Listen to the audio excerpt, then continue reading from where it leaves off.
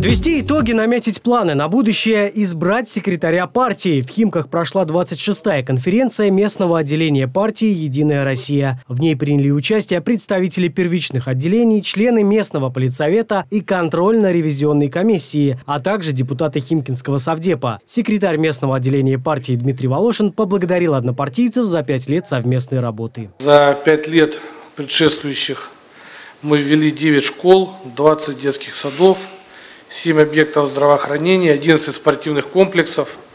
Также открыли 17 именных скверов и два полноценных парка. Это Экоберег и парк Подрезково. Более 77 тысяч человек получили социальную поддержку на сумму 4,5 миллиарда рублей в городском округе Химки.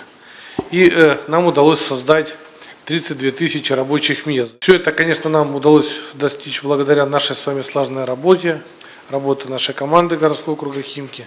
Почетным гостем конференции стала депутат Государственной Думы, член Высшего Совета партии «Единая Россия» Ирина Роднина. Олимпийская чемпионка курирует в округе детский спорт и строительство спортивных объектов. По словам народной избранницы, именно Химки задают темп крупным проектам, которые впоследствии реализуются по всей стране. Есть такие программы, которые начинались в Московской области, а потом переросли э, в программы федеральные. Например, как э, приведение в порядок э, подъездов. Да? Вот именно здесь, э, вот в Химках, она, в Московской области, начиналась эта программа.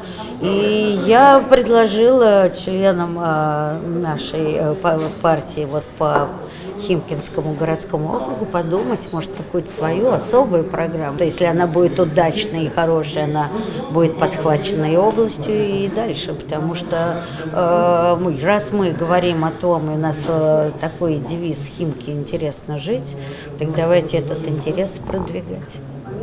Исполнительный секретарь партии Александр Васильев отметил, что на территории округа реализуется 16 партийных проектов. За пять лет в Химках провели более трех тысяч мероприятий.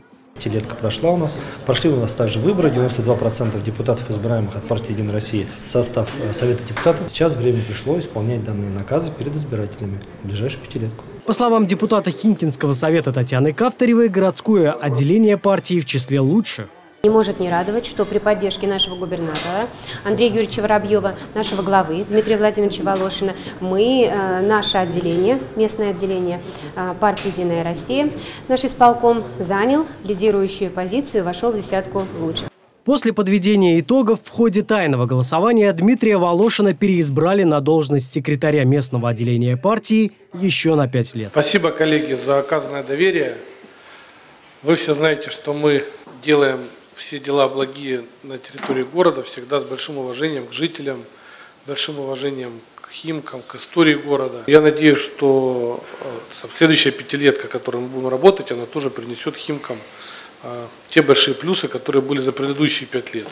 Всегда уже мне все-таки проще, есть что показать, есть что за плечами. И это не говорит о том, что мы э, не должны брать высокую планку. Планку должна брать всегда высокую. А один в поле не воин, это мы все прекрасно понимаем. Только вместе с вами я эту планку могу осилить, в том числе по партийной линии. Благодарю всех за поддержку. Планируют в партии продолжать общественную работу на добровольной основе. Силами отделения создаются условия для деятельности добровольческих движений, объединяются усилия волонтеров Подмосковья и добровольцев партии «Единая Россия». Большое внимание уделяется поддержке работников системы здравоохранения, которые испытывают огромную нагрузку в связи с пандемией.